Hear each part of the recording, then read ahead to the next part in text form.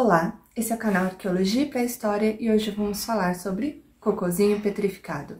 Apesar desse termo ter sido utilizado recentemente de forma pejorativa para se referir às evidências arqueológicas, até mesmo fezes, ou como costumamos chamar no meio acadêmico, coprólitos, podem trazer informações importantíssimas sobre a pré-história, sobre paleodieta e paleopatologia. Quem vai falar sobre esse assunto hoje é a Josi Ferraz.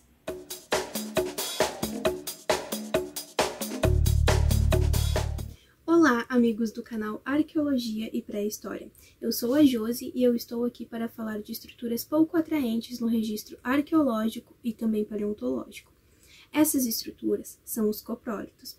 De maneira geral, quando nós falamos de fezes, tanto no registro arqueológico quanto paleontológico, em um primeiro momento elas podem até parecer repugnantes.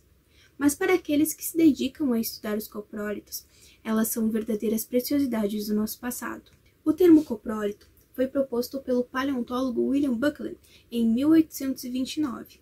Naquela época, os fósseis eram criaturas misteriosas e que despertavam atenção nos naturalistas e também nos colecionadores, que quando não os coletavam, os adquiriam através dos vendedores. Os vendedores, geralmente pessoas muito humildes, se arriscavam em meio a montanhas íngremes e perigosas para coletar os espécimes.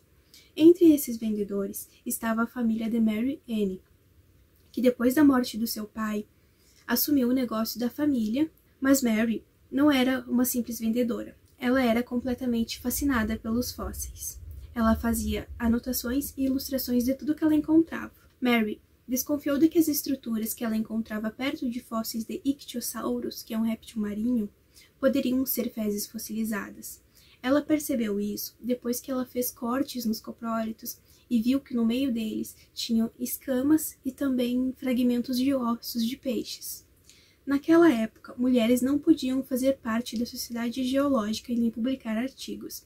Assim, muitas das suas contribuições para a ciência não foram crediadas a ela, e foram muitas. Buckland também vinha desconfiando sobre a verdadeira natureza das chamadas pedras de Bezoar, mas faltavam evidências para que ele pudesse comprovar a verdadeira natureza dos coprólitos. Em meados de 1820, Buckland recebeu de Mary as evidências que precisava, e assim ele propôs o termo coprólito e reconheceu as contribuições de Mary, dando crédito por suas deduções e descobertas. Por longos anos, os coprólitos foram deixados de lado e até mesmo esquecidos nos armários dos museus ao redor do mundo. Mas hoje, juntamente com o avanço de novas técnicas, fica claro seu potencial para revelar dados sobre a dieta, a distribuição territorial e o ambiente em que viviam animais antigos, como os famosos dinossauros, mas também animais não tão antigos em termos geológicos, como os hominíneos. Normalmente, os coprólitos paleontológicos passam por um longo processo chamado fossilização. Durante esse processo, grande parte da matriz fecal é substituída por minerais. Já os coprólitos arqueológicos podem tanto ter sofrido o processo de fossilização quanto podem ter só sofrido dessecação. Na dessecação, a matriz fecal ela não é substituída, ela apenas se encontra completamente seca. Então, os coprólitos são ou não são verdadeiras preciosidades do nosso passado? Gostou da explicação da Josi? Nós temos uma boa notícia. Ela é agora parte da nossa equipe e responsável pela divulgação científica de paleontologia. Então, gostou do nosso vídeo sobre coprólitos? Agora o canal está com novidades. Também começaremos uma série de vlogs sobre paleontologia. Siga as nossas redes sociais e fique por dentro das novidades arqueológicas e agora também paleontológicas.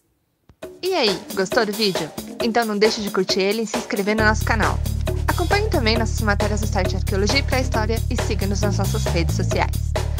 Se você ainda não é um colaborador dos nossos projetos de divulgação científica da arqueologia, apoie a gente na nossa vaquinha virtual.